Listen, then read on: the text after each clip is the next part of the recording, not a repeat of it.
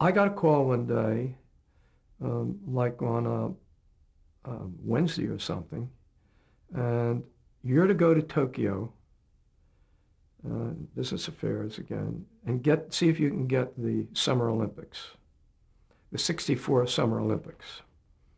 So I, together with a guy called Bill Trevarthen, who was the head of all the facilities, on like a day's notice, got an airplane uh, reservation. It was Japan Airlines, and we flew to San Francisco and then to Wake Island, where they had to change the tire because there's a piece of steel stuck in it they discovered when the plane landed, and then on to Tokyo. And we had a lawyer there who happened to be an American.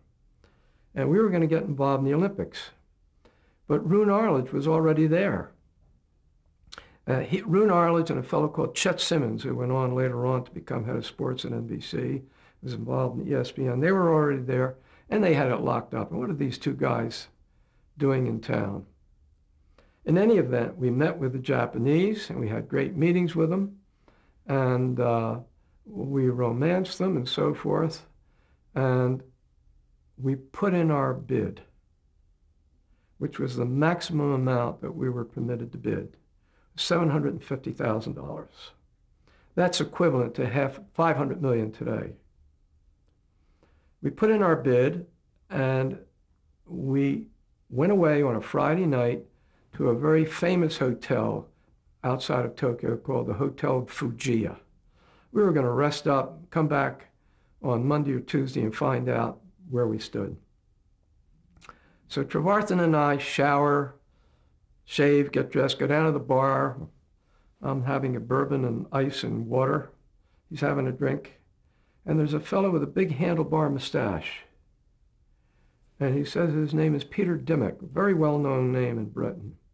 And he was head of outside broadcasts for the BBC. And he knew they had the Olympics because nobody else was going to broadcast it there.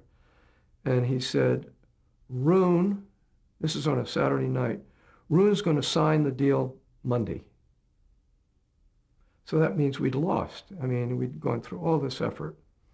So I wired Kintner, please send money. And we made an appointment call for Sunday night. We got a limo, went back to Tokyo.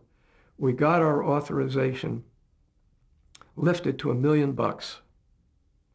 We went to the office we had to, took our letter back, gave them another letter, and lo and behold, we won. If we hadn't met this guy at the bar, we wouldn't have won. But there's an after story to it. Kintner, who was this great news guy, we got the Olympics. It was a great event for the Japanese. We put 15 minute summaries on after the local news. The local news in most cases then was uh, 15 minutes. NBC did a lousy job, lousy job. And then when 68 came along, ABC won, and Roone Arledge taught the world how you do the Olympics.